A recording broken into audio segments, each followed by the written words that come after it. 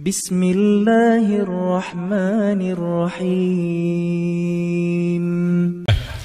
Assalamualaikum Ustaz. Waalaikumsalam. Ana adalah seorang pemuda yang masih mencoba memperbaiki diri. Pertama kali ana men- mendengar ceramah Ustaz di YouTube mengenai pernikahan. Semakin kuat keinginan ana untuk menikah. Setelah tahu begitu banyak nilai agama yang didapat setelah menikah. Ana mencoba mem- memperbaiki diri karena ana percaya lelaki yang baik untuk wanita yang baik. Tapi semakin ana belajar ilmu agama, semakin merasa jauh ana dari predikat lelaki baik. Ana semakin merasa tidak layak dengan wanita idaman. Semakin tidak layak dengan wanita idaman ana yang paham ilmu agama, yang mampu mengingatkan ana saat ana salah. Mohon pencerahan Ustaz mengenai perasaan ana ini. Syukran kathiran. Barakallahu fiik. Subhanallah jamaah. Iya. Allah Jalla Jalaluh mengatakan al-khabithatu lil khabithin wal khabithuna lil khabithat. Wanita-wanita yang buruk pasangannya adalah lelaki yang buruk pula.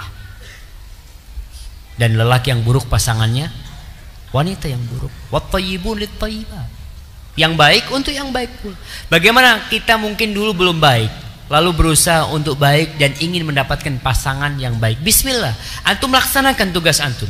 Antum boleh milih, minta sama Allah Subhanahu wa taala. Dan perasaan belum baik itu itu tanda antum baik.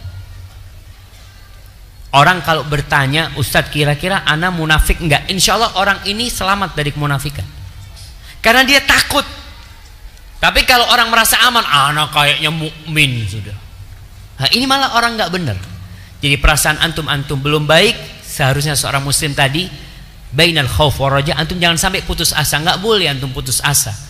Artinya kita berharap sama Allah dan Allah itu maha baik. Minta hidayah dari Allah supaya antum jadi lebih baik dan minta pasangan yang baik pula.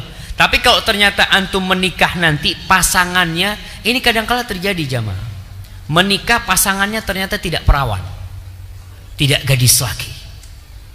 Maka antum harus rujuk. Antum pun sudah bukan perjaka lagi umpamanya. Kenapa antum minta gadis sedangkan antum tidak? Mungkin dia sama sama antum sudah bertobat sebagaimana antum bertobat. Intinya antum cari wanita yang sudah bertobat sebagaimana antum bertobat dan terima kekurangan dia sebagaimana antum memiliki banyak kekurangan yang dia nggak tahu.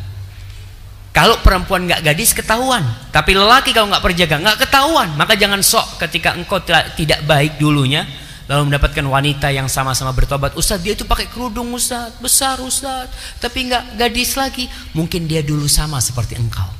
Dia terjebak dalam naudzubillah dalam perzinaan. Kalau dia memang sudah bertobat, kau juga udah bertobat. Semoga dari pernikahan ini mendapatkan anak-anak yang soleh dan soleh. Hada wallahu a'lam bissawab. Nah.